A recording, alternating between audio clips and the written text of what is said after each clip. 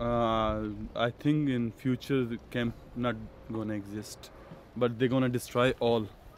They are. They will come here again and again and again and.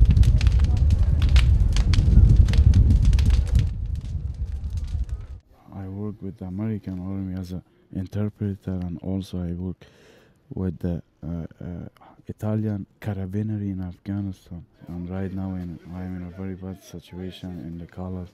I think people need to actually sit down and think about it as if, what if it was your wife, your sister, your daughter, your son?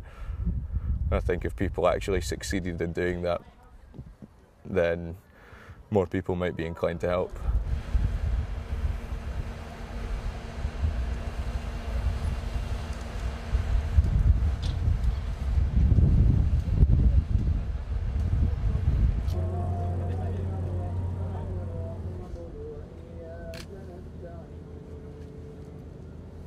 با سلام. منم به حمایت از دوستانم لبام دوختم و می‌خوام که کل دنیا صدامون رو بشنون.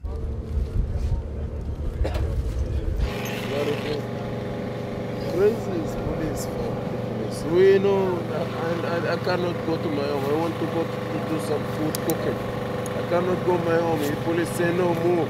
It's move my home. Everything, my clothes, everything.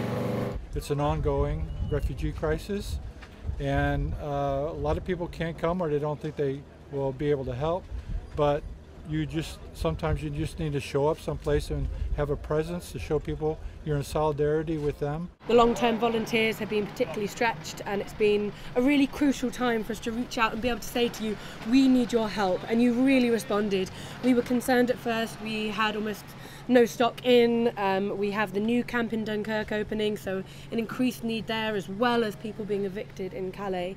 Um, we've got piles of things now, which is great, but I also know that's going to last a week, two weeks, and it will be gone. We have such a high turnover of things here. Um, obviously, a lot of hope went into the court case that we, we had and the appeal, and we lost those, which was very sad and frustrating, but my, that faith hasn't disappeared because it, it remains in the people that I'm working with and that you, the public, saying, we see this as a situation needs support and we're going to do something and step in.